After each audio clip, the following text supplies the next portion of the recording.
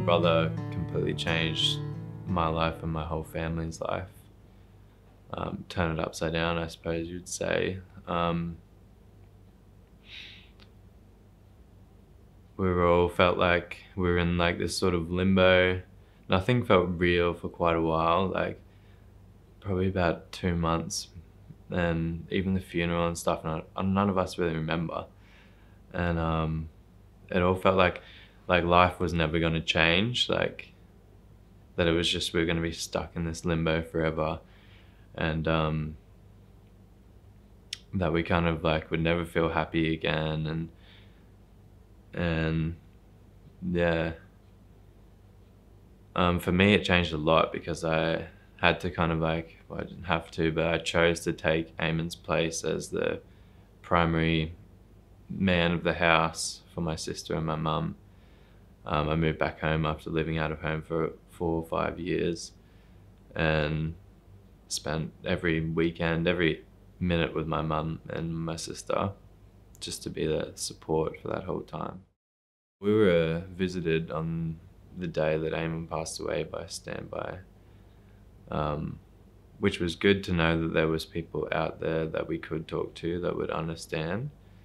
I think a lot of people don't really realize that when they're immediately bereaved. We were lucky that the, the policeman actually told us about standby and they came straight out and, and gave us some support. Um, a lot of my support actually came from my, my friends and my family as well, a significant amount. Um, I was quite open with sharing my story and quite open to receive support. Um, so that made it very easy for my friends to actually support me, I suppose, and and my family too. And I was going through a lot of regret and a lot of um, negative emotions towards it all. I was obviously angry at the situation, angry at my brother, angry at myself mostly. And I think we are all going through that. Even just speaking about my story out loud actually made clarity in my own head of of um like that it wasn't my fault and that I wasn't really to blame. I would say to people who are struggling to to get the support that you just really need to sort of let yourself be happy again and let yourself try and be happy again. Let yourself heal because without support, I, I feel like you're not really going to be able to heal nearly as well if you're just stewing on things in your own head.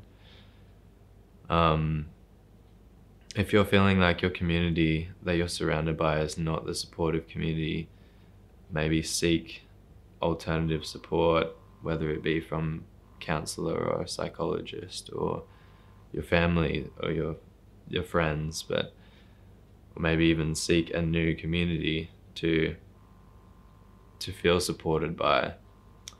For me, it, it helped um, actually going to bereavement support groups a lot.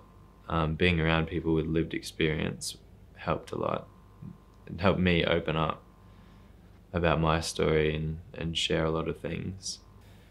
Eamon's passing helped me realize that the things in my life that were that were sort of that I was doing that weren't very good. I was drinking too much and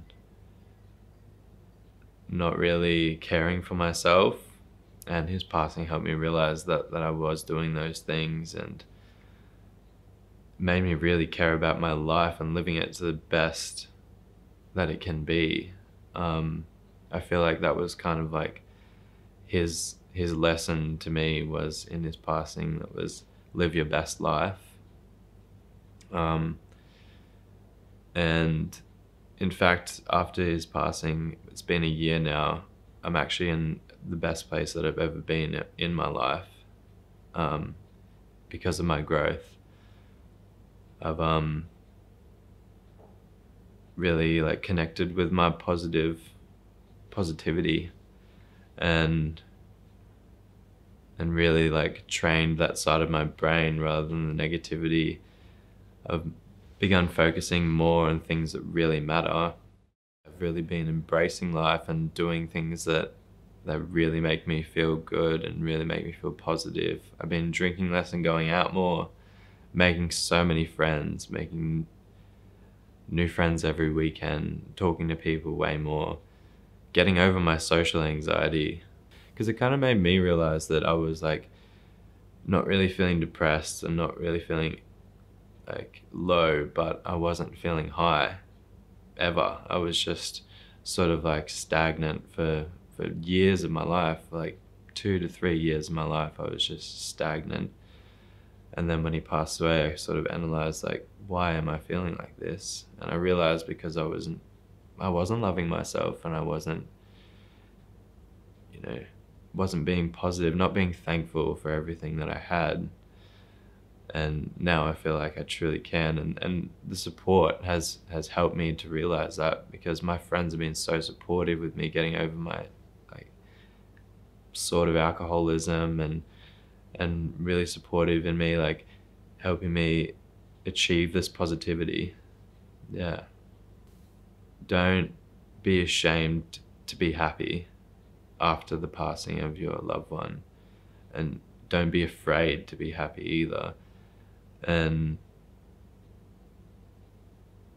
that's what they would want. That is what they would 100% want is for you to be happy and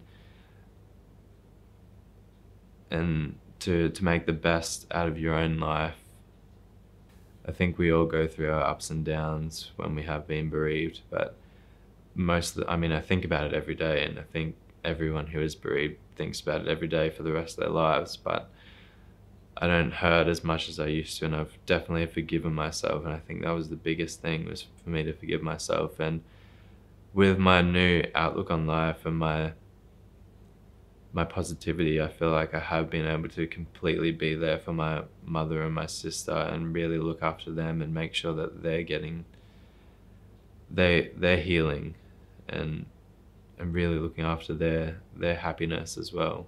Yeah.